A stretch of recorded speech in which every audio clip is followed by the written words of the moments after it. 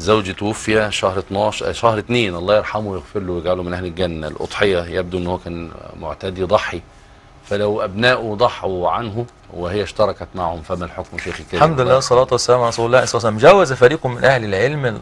الاضحيه عن آه، المتوفي وقالوا هذا من جنس العمل الصالح ومن جنس الصدقات وهي تصل إلى الوالد إن شاء الله ولو هم ضحوا عن أنفسهم فالأضحية أيضا بدون نية منهم ستدخل في آه، آه، عمل العمل الصالح للأب وخاصة إذا كان الأب هو الذي علمهم ذلك وعلمهم تلك السنة ومشى عليها فسيدخل في ميزان حسنات الأب بإذن الله رب العالمين الله يغفر له لكن لا مانع أن يضحوا باسم الأب هذا من آه، من جنس العمل الصالح الذي يصل بإذن